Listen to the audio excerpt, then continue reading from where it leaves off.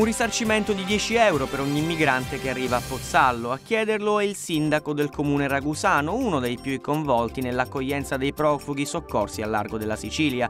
Luigi Amatuna spiega che l'amministrazione viene risarcita fino all'ultimo centesimo per l'accoglienza data ai migranti, ma, sostiene il sindaco, questo non basta. Ci sarebbe infatti un rapporto di causa-effetto tra gli arrivi degli immigrati e il calo di presenze turistiche.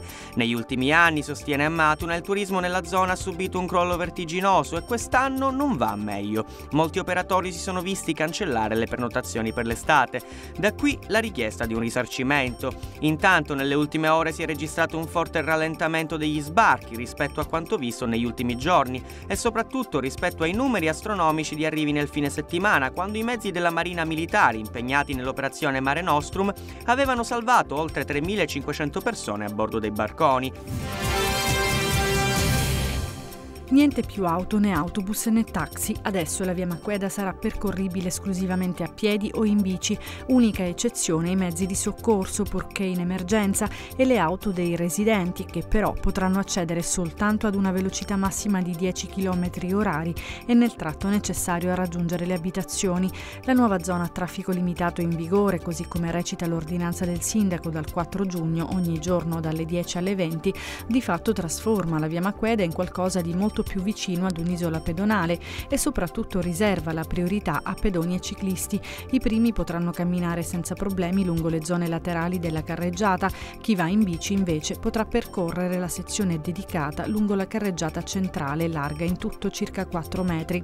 Carreggiata che però viene divisa in due corsie, a separarle le fioriere a prova di vandali, realizzate cioè in ferro e imbullonate direttamente all'asfalto. L'economia della Sicilia non vive uno dei suoi momenti migliori. È passato quasi un mese dall'ultimo forum dei tre sindacati principali, Will, CISL e CGL, e la situazione è rimasta immutata. I sindacati tengono alta l'attenzione sulla situazione politica regionale, l'inefficienza dell'economia e sulle fibrillazioni inconcludenti interne alle forze politiche. Sono sempre gli stessi temi, argomenti in una battaglia tra sindacati e ARS che sembra non trovare una conclusione.